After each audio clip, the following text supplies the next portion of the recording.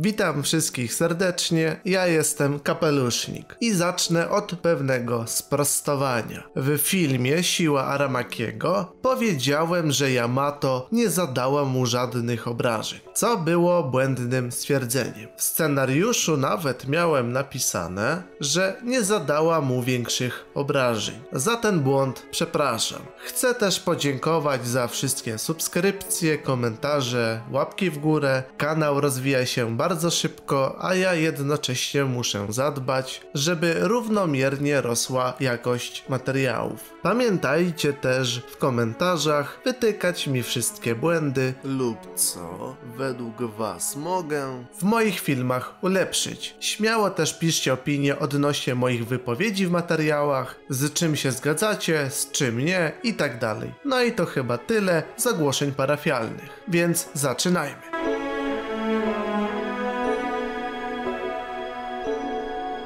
Od dnia dzisiejszego postanowiłem podzielić omówienie rozdziałów na dwie części. W pierwszej na sucho omówimy sobie, co takiego w rozdziale się wydarzyło, z lekkim komentarzem z mojej strony. Natomiast w drugiej fazie filmu szerzej powiem o swoich przemyśleniach odnośnie poszczególnych fragmentów rozdziału. Także jak mamy to z głowy, rozdział otwieramy od historyjki okładkowej, Katakuri powraca i nic się nie zmienił, odkąd go ostatnio widzieliśmy. W dodatku razem z bratem Owenem atakuje Jermę, która moim zdaniem nie ma absolutnie żadnych szans na wygraną i ktoś zdecydowanie musi ich uratować. Natomiast już właściwy rozdział zaczynam od tego, że Raizo oraz Shinobu zostali pozbawieni swoich soków życiowych przez Aramakiego i są w dość poważnym stanie. W sumie to można zażartować, że jedyne co osiągnął Aramaki to odchudził tą dwójkę. Kiemon przeprasza, że go nie było, był u swojej żony i opowiada, iż miasto Okobora zostało spalone. Na szczęście Otsuru przeżyła, ale doznała małych obrażeń i generalnie Kinsan stwierdza, że jego żona po 20 latach nadal jest zniewalająca, a reszta samurajów robi sobie z niego jaja. To chyba tyle z tego wątku, nie trzeba nic dopowiadać. I przechodzimy do karot. Pies i kot deklarują, że chcą zostać na Wano i marchewa ma zostać nowym władcą Zou. Wybrali ją, ponieważ zwiedziła już trochę świata. Ona dopowiada, iż są silniejsze postacie od niej, ale przybywają muszkieterowie i deklarują, że z tego powodu będą ochraniać dla niej kraj. A Wanda dodaje, iż będzie stała przy jej boku oraz wola Pedro żyje w niej najmocniej spośród wszystkich minków. No ten wątek jest dla mnie z lekka rozczarowujący, jednak o tym później. Sukiyaki pomimo, że dwa rozdziały wcześniej nie chciał mówić swoim wnukom o swojej tożsamości, to jednakowoż to zrobił. Niestety nie wiemy co skusiło go do zmiany zdania, no ale cała rodzinka się cieszy i tak dalej. Kawamatsu zauważa, że noszenie maski Tengu poza festiwalem było dziwne i to już skłaniało do myślenia, ponieważ jest to maska okazyjna. Największy taktyk w serii, czyli Kiemon, oczywiście jest w szoku, a reszta samurajów już dawno się domyślała. Były szogun dodaje, że chce, by informacja o tym, iż on nadal żyje, pozostała w tajemnicy. Wracamy do Słomkowych, trwa dyskusja o istnieniu Plutona. Robin zauważa, iż ta broń jest nazwana po Bogu, czyli postacie są świadome tego, że w ich uniwersum również istnieje mitologia. Taki fajny smaczek. No i przychodzi Tama wraz z Shinobu. Jak widzimy tutaj na kadrze, Shinobu znowu jest milfem. Nie dziwi więc fakt, że Sanjiego to zadowala. Jednakże zatrzymajmy się tutaj przy kucharzu i zauważmy pewną rzecz. Aramaki naprawił z wyglądu kobietę, a Sanji faceta.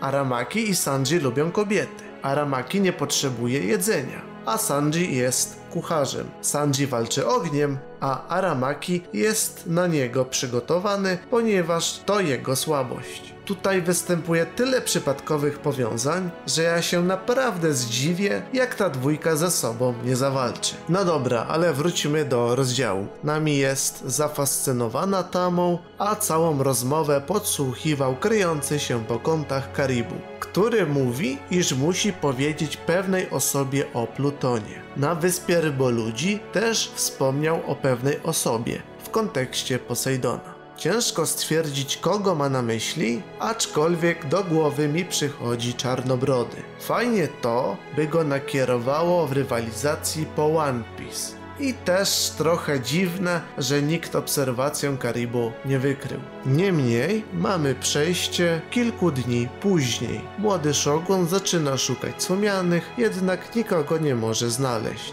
Wymienia co ciekawe wszystkich załogantów, kolejności w jakiej dołączali do załogi, w tym na samym końcu Yamato. Dopiero Hiyori informuje go, że pożegnali się rano. Co śmieszniejsze, Kiemon również jest w szoku z tego powodu. A zatem Low, Kid i Luffy dyskutują o kierunku wyprawy. Moim zdaniem kierunek nie ma znaczenia, gdyż fabuła musi się zgadzać i słomiani popłyną tam, gdzie trzeba. Kolejno Luffy irytuje Kida tytułem Imperatora, co dla mnie jest dziwne. Myślałem, że Gumiak zleje ten temat i dla niego liczy się tylko tytuł Króla Piratów. No i Kid wspomina o organizacji Cross Gulit z Imperatorem Bagim na czele, a pod nim są Crocodile oraz Mihawk. Bardzo podoba mi się zamysł tej organizacji, taka odwrotność łowców nagród, ponieważ to oni wyznaczają nagrody za marynarzy, więc nawet taki szary obywatel może takiego marynarza dopaść i sprzedać.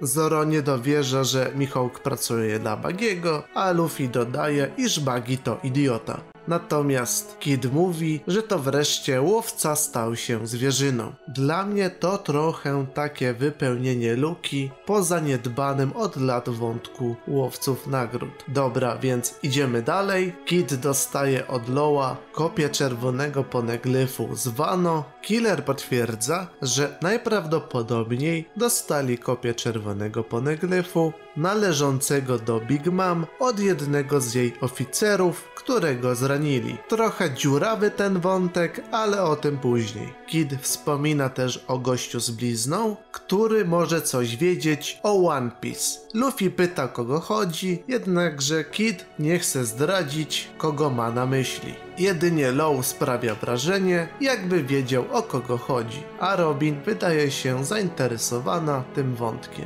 Moim zdaniem może chodzić o Gabana lub Shanksa. Na koniec rozdziału Yamato chce dołączyć do załogi w stylu Odena. Mam nadzieję, że nie będzie chciała ciągnąć się na łańcuchu przez tydzień po morzu.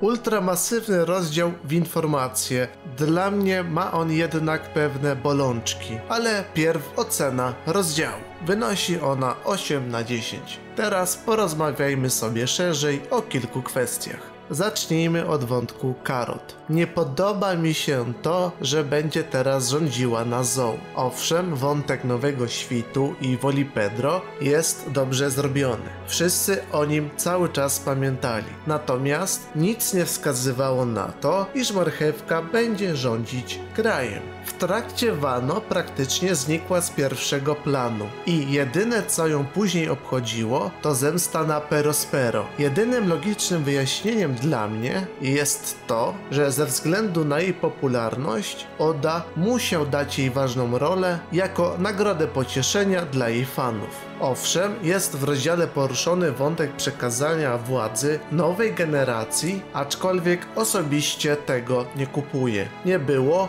żadnych sygnałów, że to Karot ma w przyszłości władać krajem. Gdyby jeszcze po Holkek Island Oda dawał wyraźne sygnały w tę stronę, to okej, okay, lecz nic takiego nie miało miejsca. Drugim wątkiem, który mnie zabolał, to Sukiyaki i jego brak zdecydowania. Nie chciał mówić o swojej tożsamości rodzinie, a jednak tego dokonał. Też takie na wyrost. Zabija to nieco tragizm całej ich rodziny. Przynajmniej dla mnie. Jakby to wyciąć, to w fabule nic by się nie zmieniło. Dalej mamy wątek Karibo, którego nikt nie wykrył obserwacją, podczas gdy na wyspie ryboludzi wykryli go bez problemu. A tutaj dodatkowo mamy wszystkich słomianych, gdzie Monster Trio na pewno ulepszyło swoje haki przez ten cały czas. Plus taki Usop przebudził swoją obserwację. I co? Karibo podsłuchuje sobie wszystkich, jak gdyby nigdy nic.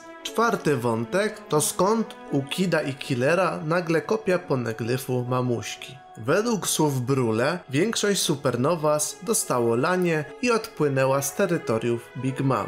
Luffy z ekipą niesamowicie się namęczyli, by zrealizować swoje cele, więc takie otrzymanie kopii poneglyfu od jednego rannego oficera wydaje się mega naciągane. Uważam to za mega uproszczenie fabularne. Liczę, że Oda w przyszłości szerzej rozwinie ten wątek. No i pamiętajmy też o olanych przez Odę wątkach, takich jak ludzie, co zjedli owoce Smile, albo odwiedzenie grobu Ryumy przez Zoro. Powiem tak, do pierwszego wątku Oda powróci, zapewne gdy Chopper już spełni swoje marzenie o leku na wszystko.